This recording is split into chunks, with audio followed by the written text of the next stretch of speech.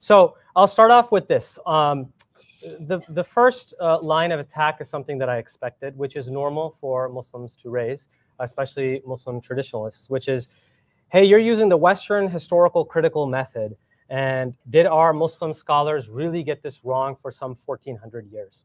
Well, let me tell you something. Actually, the vast majority of Muslims, including Muslim traditionalists, love the historical critical method. In fact, we've made Bart Ehrman, Sheikh Bart Ehrman. Uh, when it comes to any other religion other than our own, we love the historical critical method. In fact, uh, Dr. Al Masri's own student, Jake, when he, he's a convert to Islam, when he debates uh, Christians, and if a Christian were to show him 1 John 5 7 and John 14 6 as proof of the Trinity, I am the way, I am the truth, that verse with, the, with Jesus, what will Jake most likely say or have said? He'll say, hey, you know that biblical scholarship has shown that this doesn't actually go back to Jesus, that Jesus didn't actually say that. In fact, we love historical critical scholarship. That's why in blogging theology, on that show, they have one biblical scholar after another. But when it comes to the Islamic tradition, all of a sudden it's hands off. This is actually a case of special pleading. Um, even you can look at what historical scholarship has said. So I'll give you um, a summary uh, this is uh, by a scholar who summarizes the consensus about biblical scholarship when it comes to the Bible. He writes, there is a consensus among biblical scholars that Jesus, to all historical probability, did not consider himself as part of the Trinity. Nowhere did Jesus teach a Trinitarian doctrine. He believed in one God and strictly refused to be equated with God. Instead, he was likely considered a divinely authorized messenger, and Jesus was, a prof- was considered a prophet. We Muslims love that. And when we see a Christian relying upon biblical verses that historical scholarship has shown doesn't actually go back to Jesus, what do we say? We say, oh my God, how could you do that? It's so stupid. Now, do you think Christians like the fact that biblical scholars, do you think they like Bart Ehrman, a lot of them? No, they don't like it. They don't like when it's being said. But this is normal for all religions. So we can't do what's called special pleading. The other thing I would say, and that goes to the idea of for 1400 years, well, for 2,000 years, the Christian church has held Trinitarian doctrines and other doctrines like that. How does that mean anything? The other thing is that there's a myth of consensus. So there is no, first of all, we know there's a famous saying whoever claims a consensus has lied, is a liar. There's no such thing as this consensus. There are scholars and thinkers in our Islamic history who have had pluralistic views. In fact, in the article, which was linked to the article that Dr. Al Masri posted by Jonathan Brown, there was one to Yasir Qadhi's article in which Dr. Qadhi, I looked at his in the book version. On one page, he claimed that there's a consensus on this issue. On the very next page, he said, "Oh yeah, there were some pluralists who were the Islamic philosophers and the Sufi thinkers." So wait a second, there is no consensus unless you exclude anyone who disagrees with you and then claim that there's a consensus. Well, that's uh, that's a certain methodology you could use, but it's not very convincing. So this idea that you could just defend your view based on what people have said for 1400 years, we wouldn't be debating Christians then, right? So the other thing is Dr. Al-Masri said that um, I, didn't really understand this issue of hermeneutics. Um, the hermeneutics, and, and he also said this issue about tafsir. I didn't use tafsir. There was no reception history here. What I used was historical critical scholarship, which looks at the Quran directly. I didn't cite Fred Donner because Donner said what he said as if he's a sheikh. I, said, I cited Donner because his argument is convincing. There are stuff that I don't agree with other scholars about that I don't quote. Sometimes I quote what I like, what is consistent with what looks to be true, right? So that's how historical scholarship works. So we can't just claim that because you know scholars have said this from my sect for 1400 years, and it's not 1400 years ever, by the way, but in any case. Um, all right, then I did not quote, I just made, I'm going down my list. So I did not quote hadith. So that was not me violating any rules there. What I was showing with the hadith was not to make it look, people make this look bad. Rather, I was showing the divergence in theology, how it diverges from the Quranic theology. And that's an important point to, that historians look at to look at when theology changes and why. In fact, the ver we actually see it's not a suspicious like uh, conspiracy theory or anything. These are anxieties that happen with every religious tradition. Every religious tradition, there's quotes from scholars that you can see that say that every religious tradition will, um, I'm just going to quote one thing here. Um, give me one second here. So, as one historian says, and this is Fred Donner as well, um, that the Muslim community would have taken great pains to project back into the story of its origins those features that had come to be decisive in the later tradition. Similarly, another historian, Stephen Shoemaker, says the history of religions, this is not related to Islam specifically, it's all religions, teaches us that as a general rule, a religious community's memory of its period of origins is usually highly suspect from a historical point of view. Do you think any of us in this room are going to take what Buddhists say in their uh, religious settings as being historical about what Buddha did? I mean, with no other religion do we do this. It's only with ours because we think that we have a monopoly and, and we can be special pleading. And in other settings in the Islamic world, you wouldn't even be allowed to have these talks and discussions. Um, as Robert Hoyland says, of course, later Muslim historians would play down this pluralist dimension. It's not a conspiracy theory, it's a normal process of historical development whereby religious boundaries are formed. This is a normal process. So there's no conspiracy theory at all. Now, I didn't use any allegory. As a historian, you want to use the what the text is actually saying in its original context, which is actually on one level very literal. All right. Um, let's see. Now I wanted to get in you know, it was very uh, light on uh, Quranic verses. Uh, the only Quranic verses, so the most you could say, remember, keep in mind the thesis that I raised. The thesis I raised was that they are submitters in the early Muslim uh, following the Prophet Muhammad who did consider him their leader, and they probably also considered him a prophet, but not they did not need to follow the Quranic law. And that is extremely clear in the Quran itself. So this does not discount the thesis. So as all of these historians are saying, it's not just me, it's that the early community included people believe uh, so the people of the book, they had to make a decision. Are they going to side with the believers when they were being persecuted by the Arabian pagans? They fled Mecca, went to Medina. At this point in time, there was a binary choice. Do you support the persecutors or the persecuted? Are you going to be a part of the community of believers? So yes, those people who sided with the Kafirs, the people who sided with the pagans, themselves became infidels. But it's those people who sided socially and politically that is being talked about here. Now, um, if we look at the verse that I, the reason why I asked for the verse to be shown is if you look at 2 137, you'll see, and this is where I say the exclusivist side actually is the one who plays fast and loose with the Quranic evidence and actually does scriptural hermeneutics and doesn't actually look at things in their context. If we look at verse 2137, he and Dr. Qadhi also in his article that was linked also said the same mistranslation. Actually, the Quran says, and if they believe in the like of what you have believed. It doesn't say exactly as you have believed. So this is a, a key distinction that needs to be made.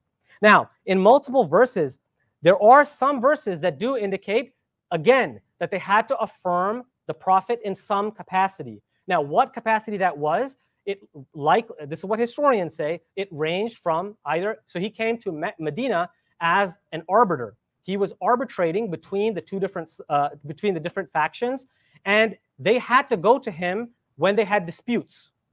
And that's why the Quran actually says that why are they coming to you for judgment when they have the Torah with them and judge by the Torah? But if they do come to you, then give them the judgment. It's not contrasting the Torah with the Quran. It's contrasting the Torah and the Quran on one side with their whims and desires on the other. So when they're saying that we don't make any distinction between the prophets, we don't make any distinctions between the scriptures, it's because these are considered to be parallel scriptures. So it's and, and Dr. Al-Masri has to deal with many of the verses that he himself showed, which actually showed that believers what we consider Muslims today, have to believe in the Torah and the gospel as well. So he's using those verses as proof that they have to believe in the Quran, but then that also means that you have to believe in the Torah and the gospel, which is with them. With them. It's not the Torah and the gospel in the past. Okay? So these are problems that need to be addressed. Also, many of the verses that he used are out of context and are actually talking about. So, for example, um, look at 4 136 that he cited. You'll look this is actually one of the passage, one of the Quranic surahs with mo- with the most pluralistic uh, passages. So it actually says, first of all, 4 136 says that you need to follow. So it says, "Oh, you who believe, believe in God." First of all, it's referring to the believers. All right, it's you have to understand who is it talking to. Here, it's talking to believers, not to the people of the book. Believe in God and His messenger and the book He sent down upon His messenger, the Quran, and the book he sent before, which is what? The Torah and the Gospel. Now, uh, if you, yeah, we are running out of time. We made a commitment Yep. to each other. Absolutely. Uh, so you have another chance. Absolutely, minutes. Absolutely. Okay. It was. I wish I could have gone a chance to look at all the verses, but we'll we'll, Yes, we'll continue yes. it. Thank We you. Yeah. All right. So um, the historical critical method. Westerners are not the only people who have brains, who understand how to separate facts from fiction. When I said we're not relying upon them, we're not relying on their conclusions, not the concept and idea that they're the they're able and they have a methodology of deriving, uh, separating fact from fiction in transmitted reports. In fact, the Muslims were one of the pioneers in this subject. The Muslims were pioneers in the subject. So the concept of them separating fact from fiction is not the issue. It's the conclusions.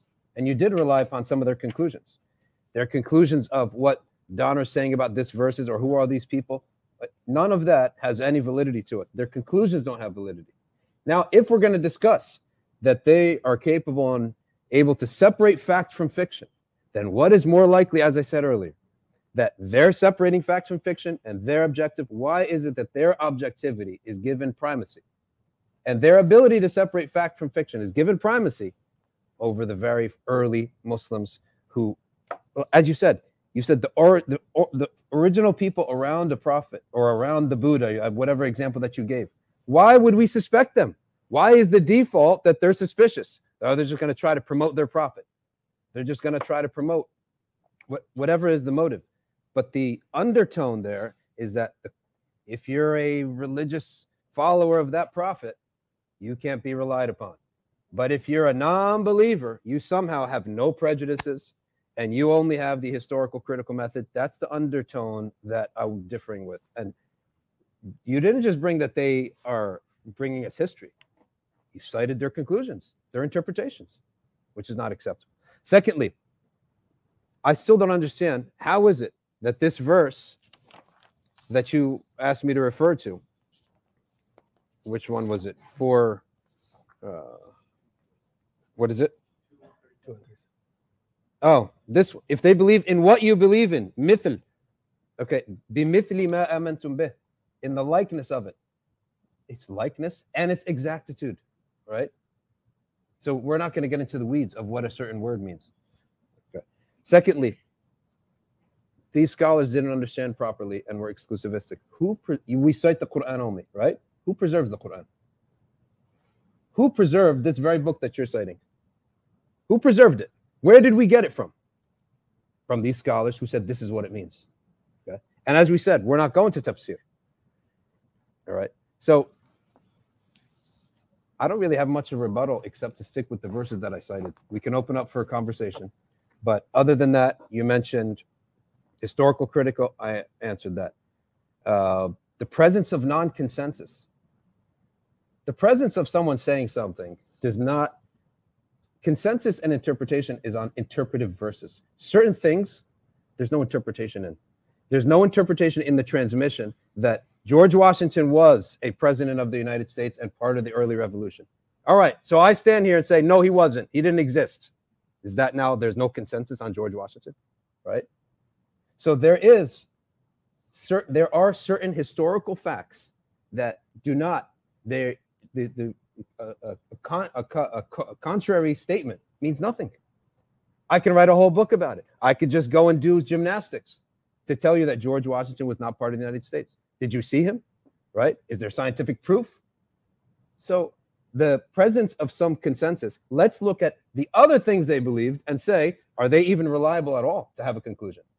Let's bring out all the other things that they said. And then let's go see if that was even correct about what they said, like the transmission of even what they said. So if we're going to go the route of consensus and not consensus, and you're saying that there is a presence of non-consensus, bring it out. Let's see what they said. Right? If we're going to go that route, I could have went that route. I probably would have had resources up to here. Right? I also want to ask if these this root of the matter is questioned. If the root of the matter, right, is something that's questionable, is not the entire religion questionable? So how could the correct interpretation of a religion be that which brings its own destruction. So it's unnecessary, right? The whole thing is unnecessary, right or wrong. So I asked the question, well, well, why bring a new religion then? Why would God bring a new religion if it's unnecessary? You don't bring an update to something unless it is nasikh to the previous scripts. And I can read to you. You light on verses. All right, you said it. I'm light on verses. I'm not light on verses. I was being kind, right? And Thank not you. I appreciate and not bringing so many verses to just just drowns everyone in it. But let's bring some verses on this religion that you say is acceptable to be followed according to the Quran. Why is the Quran in constant attack on its reliability? Why is it in constant attack? Stating that the Torah and the Injil have been altered, that they're not reliable. And it says, Oh, Jews and Christians, do not say except what is the truth. Okay. Verses showing that why do you reject the revelation? Why do you alter the revelation?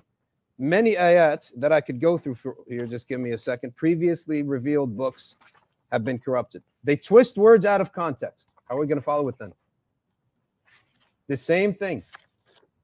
They twist words out of context and disregard much of what they were reminded of. Listeners to lies and transmitters of lies. They distort words from their place. Secondly, let's go to logic for a second. If God is accepting of the Jewish faith and the Christian faith and the Islamic faith, if I worship sincerely according to these, then I'm also a believer that God is accepting two opposite things. So is Jesus son of God or is he a bastard boy? Is Mary is Mary a righteous woman who had a miraculous birth or did she commit adultery? These aren't fuzzy lines. This is far apart. Which one is it? So if all these are acceptable paths to God, you said they're lanes. I don't say they're lanes. One is going north, one is going east, one is going south, and you're telling us they're uh, going to the same destination. They're opposites. Logic tells us one's got to be right, one's got to be wrong. These two opposites cannot be true. Is Muhammad a liar? They say he's a liar. Some say he's crazy, he's deluded, and some say he's a truthful prophet of God. Uh, guess what? They're all going to have all these opposite sayings about God's God's uh, prophets. Is Jesus a prophet? A son of God? A, a, a Jewish rebel? Which one is it? So by logic alone, these three opposite things cannot be true. These three opposite faiths cannot be true. And the meaning of believing Jews and Christians means completing your faith. Submitters, as I said earlier, I concede to it. Would not submitting include the prophet, peace be upon him? Good. All right. Again, I want to be sure because this is a lively and spirited debate that each of you has the opportunity to say in response to what you have heard. We have lots of questions, but let me give you another five minutes, uh, Dr. Hashmi, to respond to what you just heard, and then if you want, have another five minutes, and then we open it up to Q&A. Okay. So thank you again, Dr. El-Masri. So first I will say that as far as the historical critical method is concerned in historical critical scholarship, this includes Muslim academics as well. So it's not just a non-Muslim uh, endeavor. So we have the opportunity to engage in this enterprise, and we should. And uh, so, so that's point number one. Now, as far as um, this idea that uh, we should give primacy to the uh, early exegetes, well, first of all, there is a, uh, most scholars agree that there was a, a, a gap between when the, uh, the Quran was revealed and when it was exegeted. The way we know that is in the very verses that we've cited. In verse 262 of the Quran, it uses the word Sabians. Do you know how confused the exegetes were about who the Sabians are? You get like many, many different answers. And this is enough for scholars to realize that there was a gap in this. They didn't know and they were speculating. Now, were they stupid? No, they're very intelligent people. No one is saying they're stupid. No one's saying that they were colluding. But they had normal uh, interests and subjectivities, and we even see that on display today. For example, Dr. Al Masri is saying that this is a big problem, that the root of my religion is going to be wiped off the face of the earth if I'm proven wrong. That shows that there is a huge interest, a huge uh, stake which motivate which creates motivated reasoning. So what's happening is just motivated reasoning, which all human beings engage in. And you can look at any other religious tradition and see this. And again, there are Muslim academics who are taking a critical look as well. All right. Um, now, as, and this is again like who preserved the Quran. It's not the same group of people who preserved the Quran. This is a complex topic, but this is just a talking point. There's a video, a three-hour talk uh, interview that I have with Dr. Joshua Little on this. Now, uh, I would like us to turn to 262 of the Quran to show that it's actually the opposite side that engaged in uh, throwing out scripture.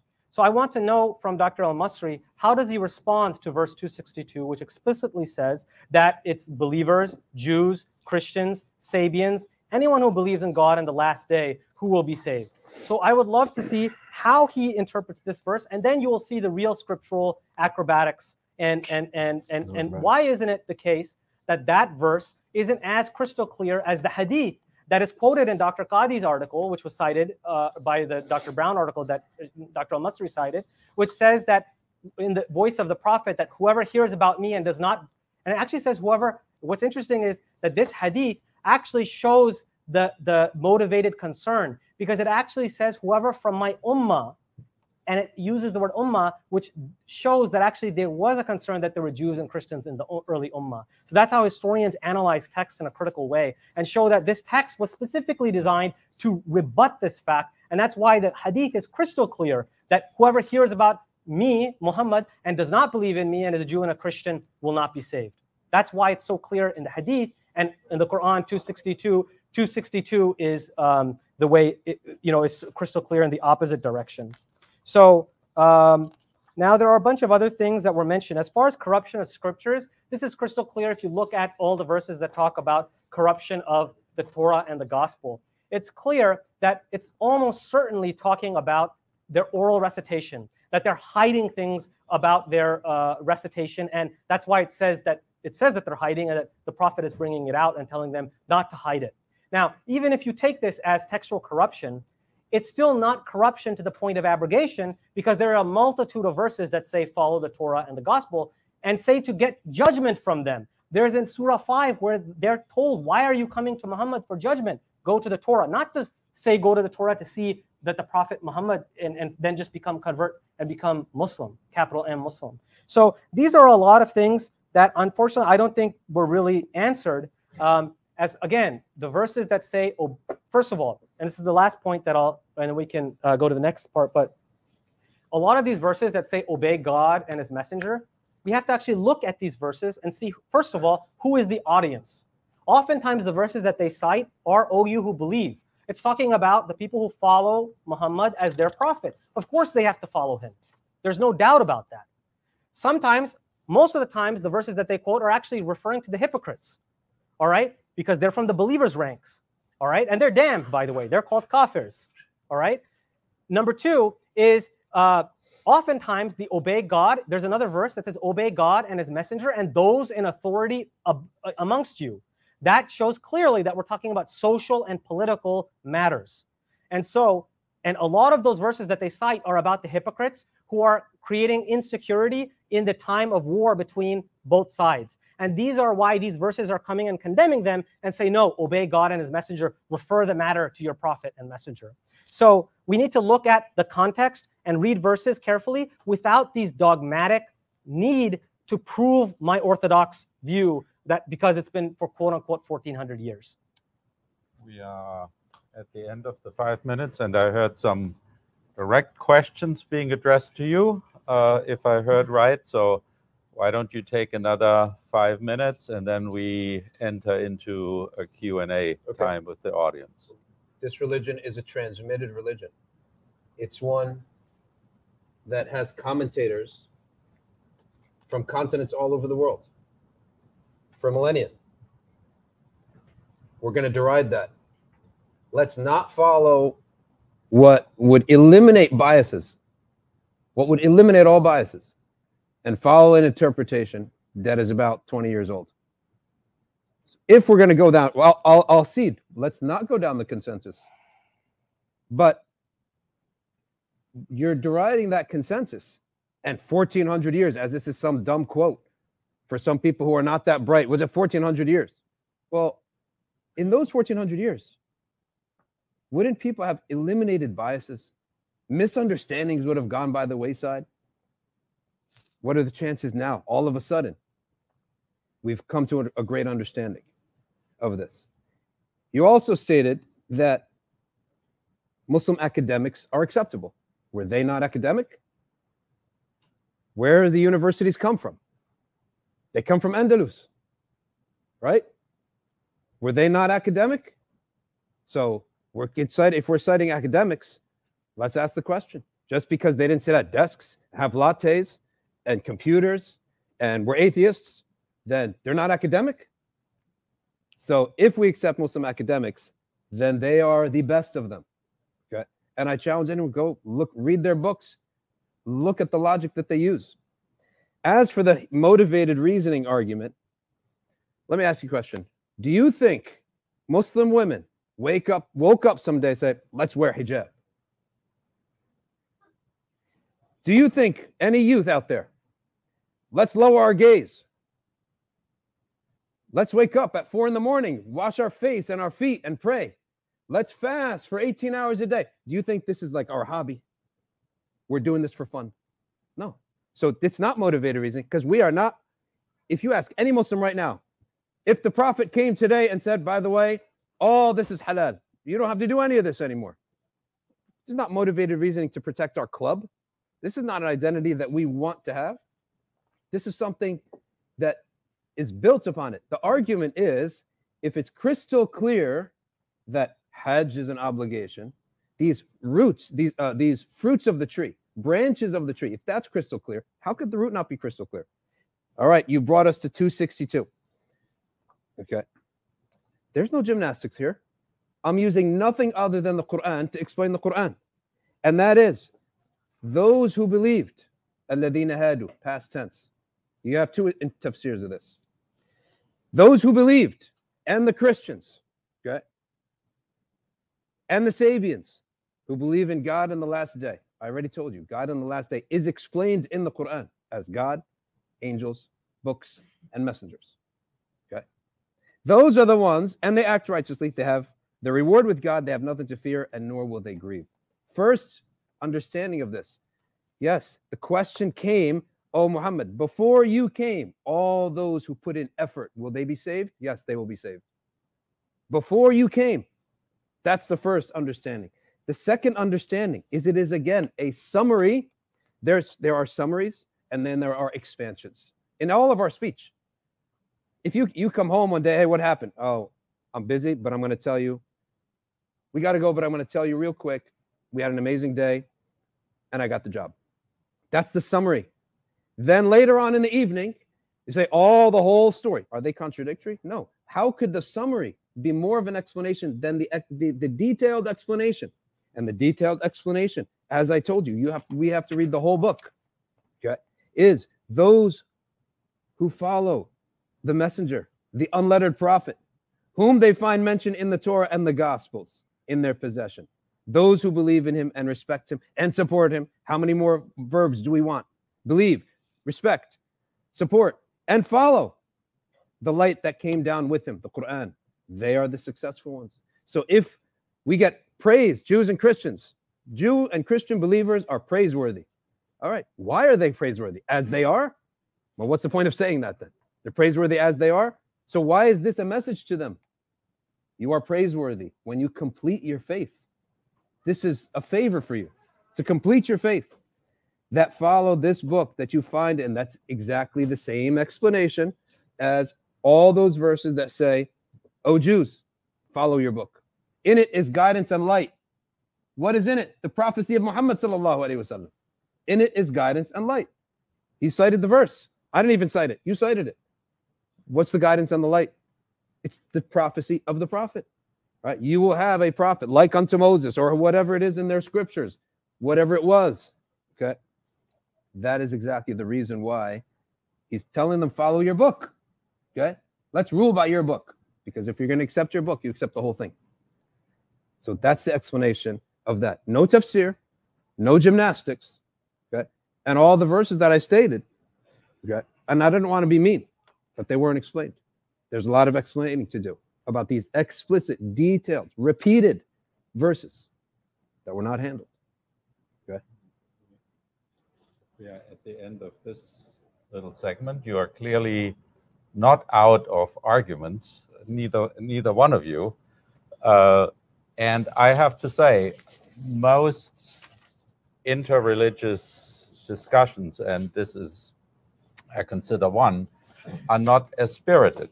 Oftentimes, oftentimes interreligious conversations and questions about theology are not as open and forthright. And I really appreciate it that you're not saying, oh, let's just find what we have in common and then let's have some interfaith cookies, uh, which is what often debates are like. So you brought out the real uh, differences between your positions, and it gave and gives all of us a lot of food for thought and contemplation.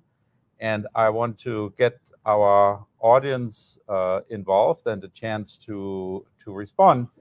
Uh, let me let me begin with a question myself to both of you, namely, the thesis that you agreed on was is belief in the Prophet Muhammad necessary for salvation?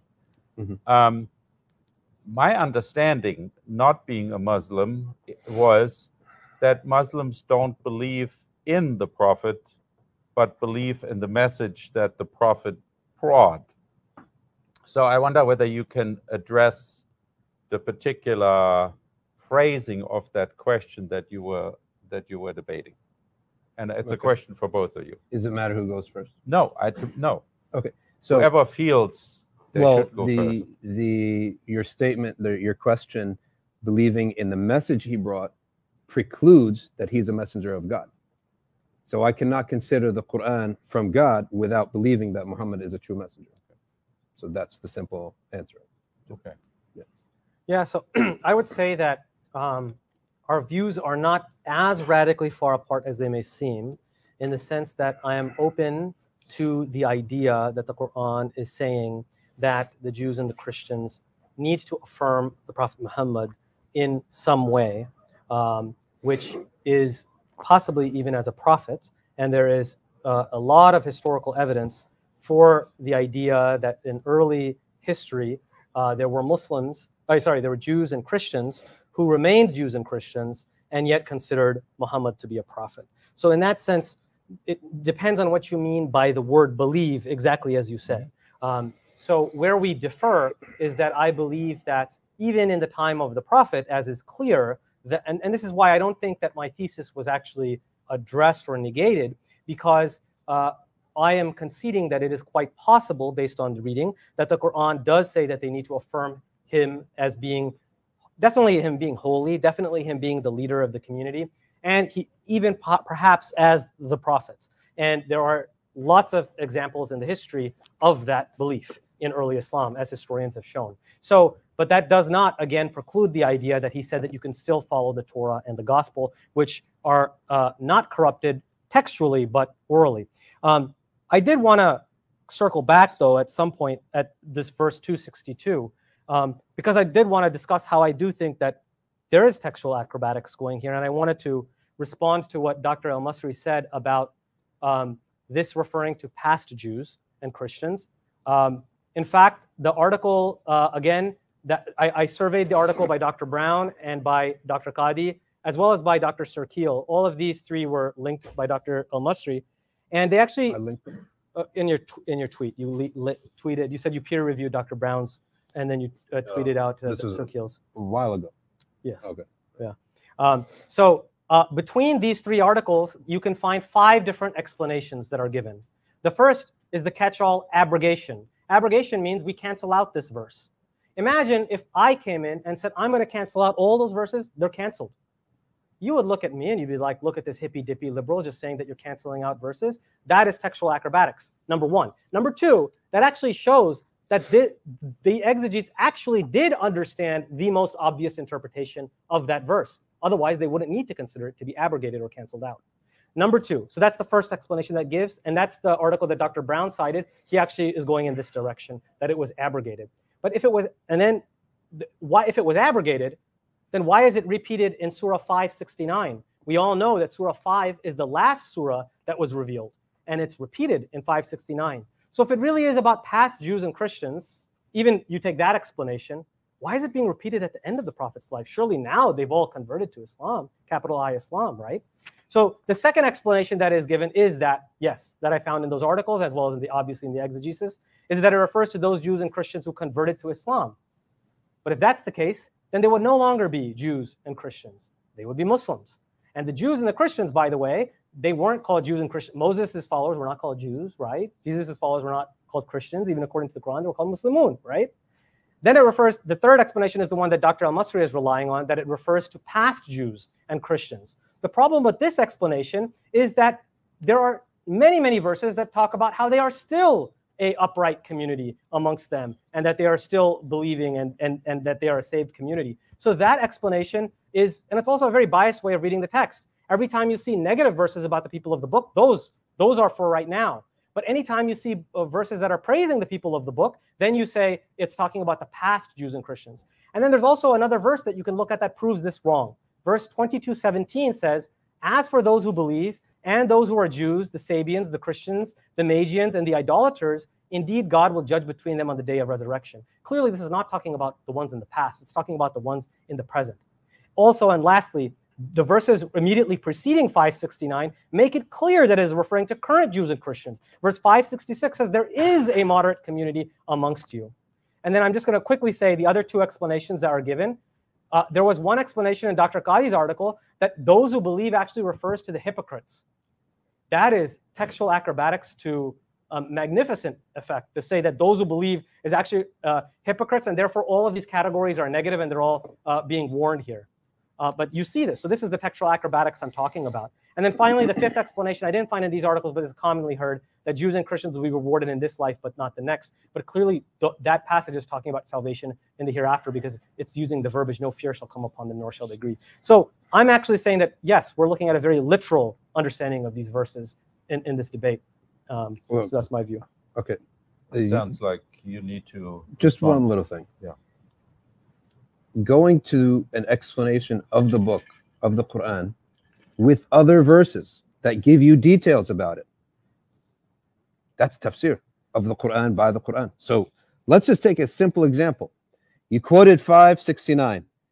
Lo, those who believe in the Ladina amanu, walladina hadu, okay, and those who are Jews, and the Sabians and the Christians those who believe in God on the last day. We addressed this. And they did good. Don't, no, there shall be no fear for them, nor shall they grieve. Okay. All right. Just read the next verse. We made a covenant with the children of Israel, and we sent unto them messengers. As often as a messenger came unto them, all right, with what their souls did not desire, they rejected them, and some they killed. So, how is it accepting their current state of rejection of the prophet? No, it is saying, you, as a Jew, when you complete your faith, because he's criticizing, you rejected prophets. So, two verses back to back saying the opposite thing? No, this one is the detailed verse, is always the one that gives the explanation of the summary verse. Next one. Okay. They thought no harm would come of it. They thought no harm would come of for rejecting the prophet, peace be upon him. I mean, it's literally talking to your argument. Okay. So they are willfully blind and deaf to the necessity of believing in the prophet. Okay. They thought no harm would come to the rejecting of the prophet, and they made themselves not hear and not see the truth. Surely they disbelieved. I should just say this for the whole argument, right? For the whole debate. Which verse? Sorry. You cited 569. Mhm. I didn't even cite it. I just looked it up right No, now. can you tell me the verse that you just cited? 570, Okay, great. 571. Excellent. 572. O children of Israel. Okay. Who uh, whoso ascribes for uh, uh, those who say God is the is the Messiah, son of Mary, addressing Christians. Okay. O children of Israel, worship Allah, one God, and do not ascribe partners to him. They surely disbelieve when they say God is the third of three, three essences, whatever you want to say. He's the third of three. So how is it that the very next set of verses are attacking decimating their theology that they're upon. One my theory, not it's not my theory, right? This is basic 101. The- The Quran explains the Quran. The believing Jew and Christian is the one who has completed his faith. Otherwise, how do we explain all these attacks on the Trinity, attacks on Jews rejecting prophets? Okay, the Messiah, son of the Mary, was no other than a messenger. Okay, he passed away. Him and his mother were right. His were righteous. They both ate food, meaning they're not gods, because if you eat food, you go to the bathroom. Does God go to the bathroom? Right? Say, serve ye in place of Allah that which possesseth you neither hurt nor use. And other verses. O people of the scripture. قل يا أهل الكتاب لا تغلوا في دينكم غير الحق. Stop saying what is untrue about your religion your religion, meaning you are on a wrong path right now. Are these not convincing verses that you're not on the right path? ولا تتبعوا أهواء قوم قد ضلوا من قبل. Don't follow your forefathers who went astray. They altered the book. They said wrong things about Jesus. They rejected prophets. You pointed me to this verse. It wasn't even part of my argument. Okay. وَأَضَلُّوا كَثِيرًا. That's why I said this concept, it jumps out at you at the Quran. Open the Quran and read it yourself. It jumps out at you. Okay. You kicked this thing. قَدْ ضَلُّوا مِنْ قَبْلِ. Your forefathers went astray. How am I going to follow them? They went astray. وَأَضَلُّوا كَثِيرًا. And they caused many to go astray. وَضَلُّوا عَنْ سَوَاءِ السَّبِيلِ. And they went far astray. Listen, people don't have to be Muslim. We're not forcing anyone. But you cannot say that the Quran is accepting of Jewish doctrine. You cannot say the Quran is accepting of the Trinity. It- it's just illogical. Okay? Forget consensus. Let's just go by logic. لُعِنَ الَّذِينَ كَفَرُوا مِنْ بَنِي إِسْرَائِيل. Those are the children of Israel who disbelieved are cursed. Disbelieved in who? All of God's prophets. They're cursed for disbelieving. Disbelieving in what? So that's the second thing. There's summary, there's details, and then ask the question disbelieved in what? Clearly, the verse before says all the prophets. Okay? Um, I'd love to uh, respond to that though. Um, so I think it's really great to look at the surrounding context, and so that's what we need to do. So let's look. No context, just the verse. Yes, exactly. So let's let's look. So we have two theses. Okay, one is that the Quran is uh, had some positive things to say, but then switched to condemnation, and that's actually the one we're going to prioritize. No, it's not the case at all. Wait, can I just so, so Yeah. you, you raise your argument? So, um, so the the second thesis is that the Quran is being selective and criticizing those people of the book when they do wrong. So these are two theses. Okay, let's see which one actually shakes out in this surah itself. Okay, so in that same surah, earlier on, it's talking about following, had they observed the Torah and the gospel, it says, you, stand on not till you observe the Torah and the gospel. This is verse 68, right? The one right before it. So, what it's actually criticizing the people of the book, this is the verse before. You cited the verse after, let me quote the verse before.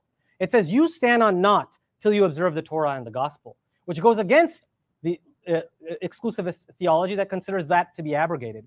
It's actually criticizing them for not following their scriptures. So, yes, the Quran does condemn people of the book and chastises them, just like it chastises believers. It calls them hypocrites. Very harsh language against believers who are considered hypocrites. So, just having harsh language doesn't mean that they're all damned. Then he mentioned the very next passages which talk about the criticism of God as the Messiah. This is really sad, unfortunately, how exclusivists read these passages. It actually is insulting to the Quran because it makes it look like the Quran was authored by an idiot. Because we, it makes it sound like the Quran doesn't understand Christian theology. No Christian today says God is the Messiah. No Christian says third of the three. This is actually referring to this is actually referring to Byzantine imperial theology that was present at that time, in which the Quran is specifically engaging with and being critical of Byzantine imperial theology. You can watch an excellent lecture on this by a Christian theologian who actually reads the Christian the critique of the Quran against the Trinity and says, "I agree with you. Thank you for making this critique." This is if you read it with actually understanding and reading other religions and their theology. But if we keep going forward, you see that the Quran is saying that they're disbelievers among them. Verse 580 says, because they allied with those who disbelieved. You see many of them allying with those who disbelieve. But then look at verse 582. We're not far off. So we, if we want to look, let's look at the whole surah. What does 582 say? It says the nearest in affection to the believers are the, Christ, are the Christians. You will find the nearest of them in affection towards those who believe to be those who say, We are Christians. This is because among them are priests and monks, and because they are not arrogant. Okay? And then you have um, you have the very end of the surah that we should look at. So, how does the surah end? Does it end with condemnation and chastisement of the Christians? No. What it ends with is Jesus disassociates himself from his followers when they say that, take me as a Lord. And he says, no, I didn't say that. And then what does it say? This is the key part. It says, this is Jesus speaking to God in the Quran at the end of the very surah that he and I are debating, which is a continuous thing. So you can't just take one part or the other. It says, Jesus says, if you punish them, they are indeed your servants. But if you forgive them, then indeed you are the mighty, the wise. How does God respond to them? God responds positively to his request and said, God is content with them and they are content with him. This is how the Quran ends on this. So it ends on a positive note. So, what is the counter thesis to what Dr. Al Masri is saying? The counter thesis is that the Quran does criticize beliefs of the people of the book, including the Trinity and especially Christian heresies that were associated with Byzantine imperial theology. But this is not a blanket judgment on all Jews and Christians. And you see that it ends on a note of mercy with Jesus himself asking for forgiveness. And there's another verse in the Quran in which God promises Jesus that he will place his followers, Jesus' followers, above the idolaters on the next day, on the next uh, in the next life. So we see that it's not a blanket judgment against them. Yes, it's not a blanket. It's a blanket judgment against those who did not complete their following of the scriptures by believing in the last prophet. And in 582, you contradicted your thesis. When you cite, all right, you will find amongst you, okay, لتجدن أقربهم أقربهم مودة للذين آمنوا. You said, you just quoted, you will find the nearest of those to the believers are the Christians. Therefore, Christians are not believers. I said they're not believers. You're saying Christians? Christians were Muslims. So they are the the believers in the Quran are the mu'minun. Which and, are who are they? Which are the believers, those who believe in the Prophet Muhammad as their prophets and follow Quranic law. Whereas the submitters or the Muslimun are the Jews and the Christians and other monotheists no. who eh, submit to God and his uh, prophet and his community, but follow their own religious laws and scriptures. No, this this all this complication. God doesn't play tricks. He gives a book for everybody to understand. So why? Uh, what? What about five? Uh, what about two sixty two? Why did he make it so confusing? Like it's not you, confusing if you if you get educated. If you if you well, uh, I'm I'm serious. I, I think, just read these verses. Yeah. Admit to them. So right. So I got a question for you. Are you Jesus asking, is not God in Christian doctrine. Is that where we're headed to? I, I didn't. I didn't say okay, that. Okay, that's what you said. I oh. said you said I, we can ask Dr. Reinhardt as a Christian said, specialist. Do Christians say Jesus is God? Yes or no? I didn't say that. You didn't hear what I said. I said they don't say God is the Messiah. See, this is that. Well, well, who is the Messiah? Is Jesus? Time out. Time out. This is the Jesus way. is God. God is Jesus. So two plus three equals five. Three plus two equals five. Said, it's the same thing. I said that, at the beginning. I said at the beginning when in my introduction, I'm here as the facilitator, not as a participant. Well, we need an expert right now. As a Christian theologian, every Christian I met, Jesus as, is God everywhere. As a Christian theologian, I will yes. not get drawn into this debate. Okay. This can we this, get an expert witness? We'll give you a bottle of this, water. No, no. This is is this, Jesus God? Yes or no in Christian dogma? So the Christian polemicists will actually say that the Quran gets it completely wrong here when they say will, God is the Messiah. They say the Messiah is God, but they do not say God is the Messiah. I will. I will. In not, math, in I math, there's drawn, that. What is that principle? Get, three plus two equals this five. This is no. two plus three all equals five. It's no. the same thing. I God said, is Allah. Allah I, is God. I, also said to you at the beginning. Commutative. Sorry to cut you. I also no. I also yeah. said to you at the beginning. In each of our religions, we like to explain ourselves rather than be explained. So you explain yourself. Dr. Hashmi explains himself. Okay. I'm not able to sit here and be explained as a Christian. You got drawn into it. Uh, no. So you need I to refuse. give us the simple answer. Is what? Can you go to Chat GBT and ask? Is no. Jesus God in Christianity? No. But no, that's not Chat, what was. No, I'm this not, is not. This is not the question. The answer is very nuanced, and if we can schedule another debate about this, Christianity. I'll be partic- I'll be watching. You'll be watching. You I can't participate. You need to participate. I think yeah. maybe we are closer than you imagine we are. Uh, but I will, at this point, not get drawn into it. Instead, what I will do is to introduce a couple of questions actually from the audience because Okay, this is this has gotten a little heated and uh, so one of one uh, I One- don't have an assistant giving me uh, notes. I should have got an assistant too. Getting getting cheat no, sheets. it's, it's who's no, getting it's the questions. It's questions. oh, these are questions. that- Okay. that- those are questions. I thought I thought No, Dr. those, Javad is those are getting a not cheat cue sheet. cards. This Okay, is good, is good. not late night TV where I need cue Okay. cards.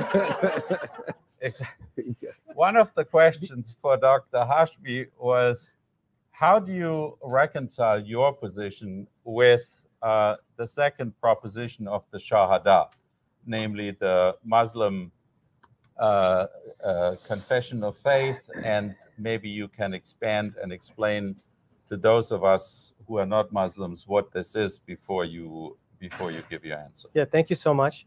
So I, I do think what Dr. Krauss said is extremely important. When we talk about somebody else's religion or religious belief, it's important to let them explain what their religious belief is. And on that basis, I would refer you to Dr. Klaus von Stosch's lecture called Jesus and Mary in the Quran, in which he lays this out in great detail how no Christian would say, alive today really, would say God is the Messiah. You may not understand this nuance, but imagine if someone else is uh, a, a Christian is talking about Islamic akida and uh, theology and getting these fine points wrong and saying that Asharis say this and, and getting it completely wrong and you saying, well, it's the same thing. This is like butchering their religion. Um, so that's that's the first point. Now, as far as um, the question that's being asked, it's asking so the the declaration of faith consists of two parts. The first part is that there is no God but God, and the second part is and Muhammad is his messenger. Well, actually, if you look at the historical evidence, we have archaeological evidence, we have inscriptional evidence.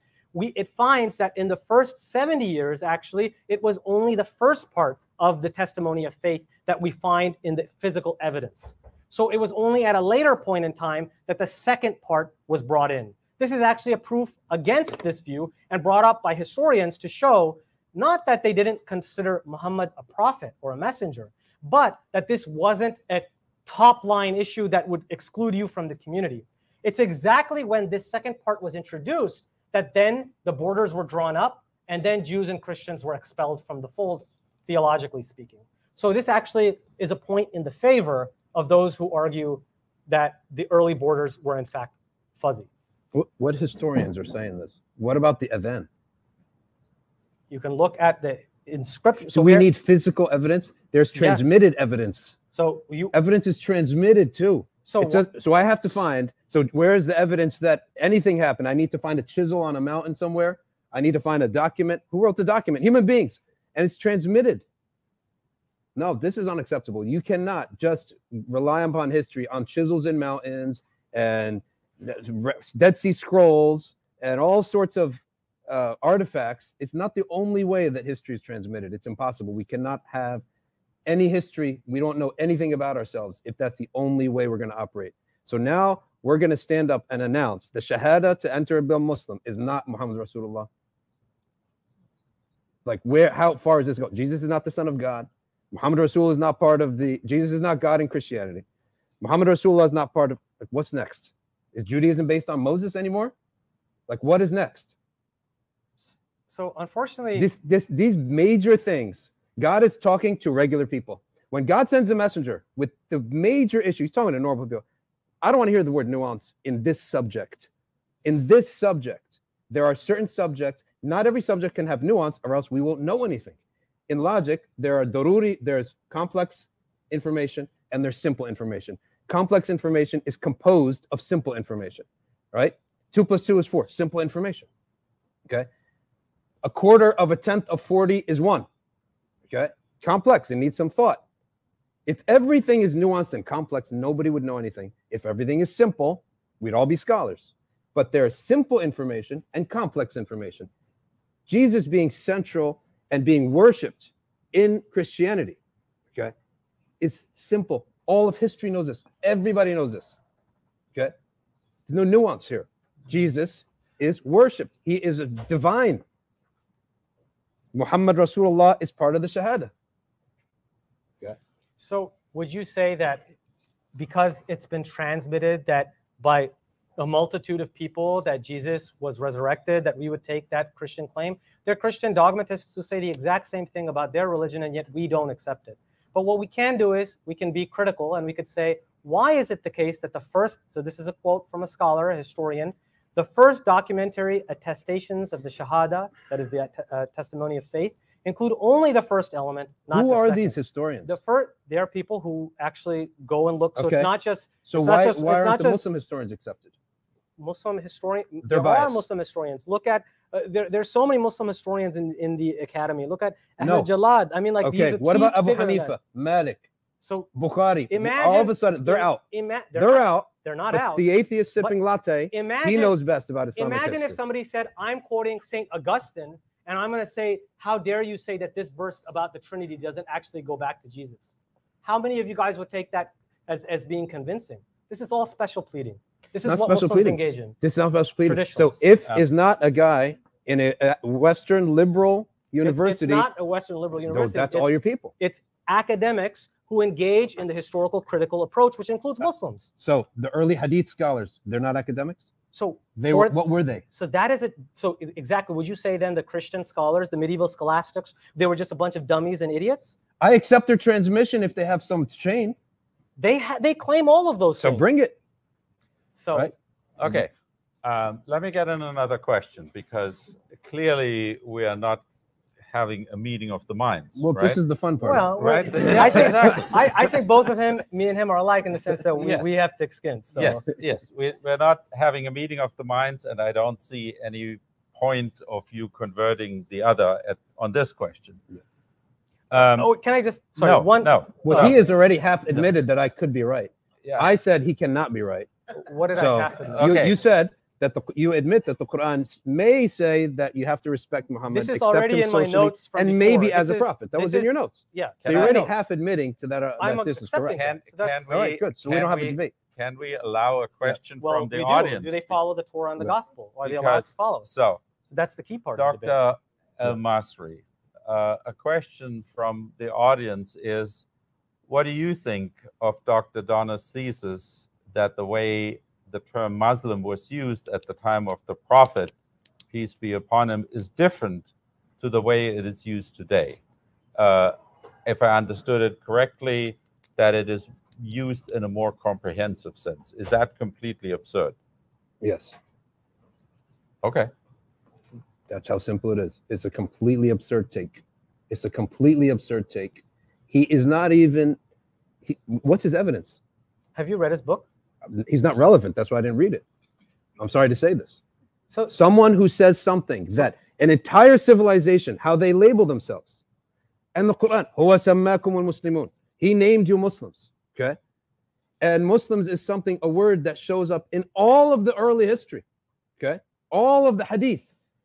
It's just because somebody brings up an absurd, hot academic take. That's what it is. There are some people who do hot takes on Twitter, and other people do hot takes on academic presses. It's a hot take. would you say that you pre already consider it inadmissible so that you can't even consider that viewpoint? So is it a presumption that it's a priori false, whatever a historian like Fred Donner would say? his conclusion, okay, with all due respect, that the word Muslim does not imply the follower of Muhammad sallallahu alaihi wasallam.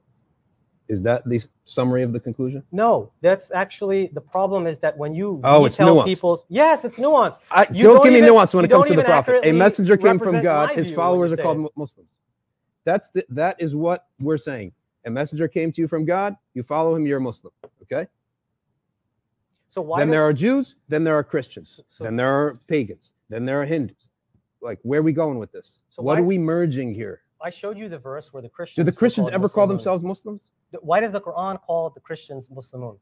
The people of the past submitted to It's- all of God's it's actually criticizing the current Christians for deifying Jesus, and then says, "Why would you disbelieve when you were submitters, Muslim?" you were accepting so that so so that submission so means you were accepting the latest prophet that came to you. You were accepting of it.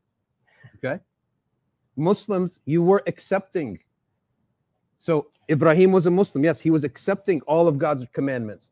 Then the Jews came, or the Moses came. All of those, they accepted Moses. They are submitting. They are Muslim to Moses. They are submitting to Moses. Then Jesus came. Then they submitted to him. Then Muhammad came. And this is what we are going to name you. Muslimun. He named you the Muslim. Now that's your name. It's an attribute of everybody, but this is now your name. Um, question for uh, Dr. Hashmi, and to some extent, I think it's also a question for Dr. ElMasry from the audience. Why exclude the the hadith from the um, from the consideration and discussion? Uh, you would, except for this debate, probably not exclude them. I would But- love to include hadith. Yes. So, Okay. so, but why, why exclude them? Uh, can you explain why, as a concession for this debate, you're excluding the hadith? I think that's a great question. So, um, first, there's a three hour interview on the same channel that this is streaming on about this very topic, where we go into great depth as to why historians are skeptical of the hadith. Now, uh, in the article that was cited, Dr. Qadhi, uh, he, he says, quote, it is simply not possible to formulate a pluralist interpretation of Islam except by neglecting or rejecting the hadith corpus. I will say, said another way, it is not possible to formulate an exclusivist interpretation of the Quran except by superimposing the hadith onto the Quran. Compare, for example, the hadith that's he, Dr. Qadhi cites, which is, I swear by him in whose hands is my soul, there is no single Jew or Christian who hears about me and then dies not having believed in my message, except that he shall be of the den- denizens of hell. Crystal clear. It's as clear as 262 the other way around, right? Any neutral person will say that. Now, why is there no such clear verse in the Quran? Why is there this divergence between the Quran and the Hadith? We have to ask that. Well, the obvious answer is that it's reflective of a later theology. In fact, like I said, this hadith itself, there's a hadith that says this thing and uses the word ummah, meaning there's this uh, clear evidence that they were part of the ummah at some point in time. Now, and that's this one in uh, by him in whose hand Muhammad's soul. Anyone of this ummah, Jew or Christian, who hears of me and then dies without believing in my message, will me- be among those who go to hell. So this shows the motivated reasoning and the anxiety that's at, at play. So the reason why we can't use hadith is because historians acknowledge that the initial transmission was atomistic, paraphrastic, and subjected to drastic mutations. And the way we know that is by looking at the proof in the pudding. If you look at the Quran and compare it to the Hadith corpus, the Quran does not have historical anachronisms in it. Meanwhile, the Hadith corpus is full of historical anachronisms. Now you have to ask yourself, why is it that Western historians uh, who are non-Muslim affirm that the Quran goes back to the Prophet Muhammad, but don't accept that with the Hadith? Are they liberal Muslims in hiding? Is that what their intent is? No, this is the ruling that they get when they simply look at the evidence and realize that the Hadith is full of historical anachronisms where Muhammad is said to say things that clearly were about this sect, this group, this occurrence. It's just painfully obvious. So this is the reason why that we don't look at the hadith. And my last point on this is we can look at this specific issue and find how conflicting the hadith are on this topic, which is another reason why historians don't rely on the hadith because they're reflecting. There's a rule for every hadith, there is an equal and opposite hadith. Every group has a hadith that they can use, a saying that they could use. And in Dr. Brown's article itself, you find these conflicting hadith. There are hadith that can be used to say that all monotheists will be saved. Then other hadith that will say, no, it's actually the people uh, who believe in Prophet Muhammad who will be saved. And there are other views as well. So all of these conflicting reports is the reason why we don't look at this. This is obviously reflecting the anxieties of a later generation. That doesn't mean that as believers, we can't use hadith in a religious way. But that's a separate conversation entirely. Uh, Uh, it's- I don't think so. I mean, we have so many questions already. Can you write it down? Yeah. Yeah. I don't want to. Okay. Uh, Um, let's. the, the, if I can answer that, please. Okay. the Quran does say the exact same thing that the Prophet said. Any Jew and Christian from my ummah, which ummah? The ummah that he's there is the ummah that he's delivering his message to, the nation of people that he's delivering his message to, okay, who do not who hear of me and do not believe in me are in the fire. The Quran, ayah number six of Surah Al Bayyinah. Lo, those who disbelieve, who are they? Among the people of the scripture and the idolaters will abide in the fire. It's the What? same exact thing. Sorry, I, w- I missed the what verse did you say? 98 Surah Al Bayyinah, verse 6. Thanks. Okay. So it is giving it.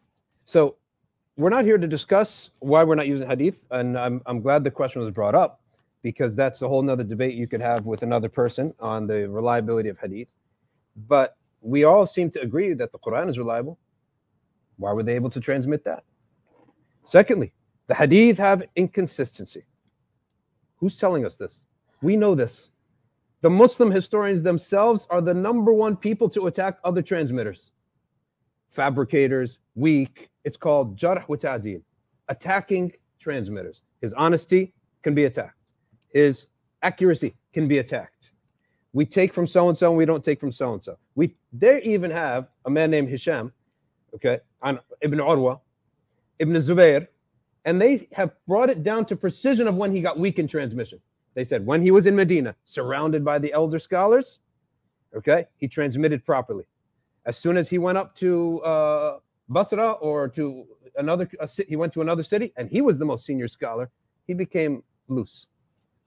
I- They I'd like to- So, but let me um, one say one I, thing. I need to do a quick, who, quick who? response, Hold on, almost done. I, Yeah, I go ahead, like please. to get another question. in. but real quick Okay. response, if you'd No. allow me. Okay, one thing. Who transmitted the Arabic language? Okay. And why these undertones, as I said before? They're anxieties, showing anxieties. Like they're just trying to keep our civilization together. Let's make up hadiths. Let's put lines because we're nervous about the Jews and Christians. What do you say? Did not the Prophet, peace be upon him, bring disparate tribes, all united, who hated each other? So Why didn't he be so clear that Jews are your brothers, Christians are your brothers? Right? The last speech of the prophet, peace be upon him. There, there's no benefit of a black over a white, no virtue of uh, Arab over non-Arab. Why not? If he's able to bring all these people together, Dr. he could have easily brought Can I- Jews and Christians together. Can I just yes, one one quick? So I think this is a perfect example. You cited verse 98.6.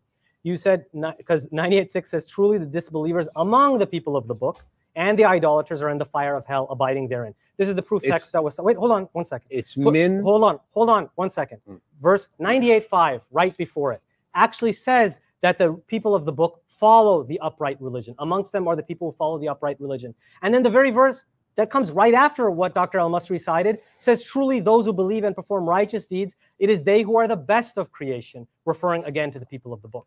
So the Quran is clearly criticizing a portion of the people of the book, not all of them. Which And so it's important, it's, it's very much important to read the Quran carefully That's- and in a nuanced That's fashion. wonderful. Which portion okay. is he criticizing? Okay, So- I have to I have to call it this Mm. exchange to a halt, and we probably able to get in one more question. We probably have, I don't know. We I have Keep going. I got all night. Yeah, these are not notes. I these got- are actually yeah. Uh, otherwise, I would have loved to gone all night. Yes. but- So one one question for Dr. ElMasry, and if you can be quick, is uh, or brief. Uh, often transmitted stories are changed over time, like in the game of telephone. One of the listeners is asking. Are you saying that we should disregard the written and archaeological evidence and just keep the transmitted evidence in higher regard. well, archaeological written word, um, like which one? It is evidence, but just because something's written, just as something's spoken, doesn't make it sound, right? So yeah, we do accept engravings, but we don't limit our history to scrolls and engravings, right? But I, the question is And asking, what- are they disregarded? No, they're not disregarded. Why would we accept random engravings by non-Muslims, but we don't accept the first generation Oh, of these were by, Muslims? they're by Muslims, okay, Muslims. believers. Why would we not accept, right? All of it then. If we're going to accept those, accept the rest, Okay. right? Can I So, but? I have, to, I, I also have a question. Which Jews and Christians, among the Jews and Christians, which ones? What wrong action did they do that puts them into the anger of God? What is the wrong action that they do? Um, That's the question, so that they can be guided, right? I need to know what am I doing wrong. I'm a Jew and a Christian. Dr. Javad saying, among you are good and some of you are bad. Okay, can you list me what's bad so I can avoid it? What is bad?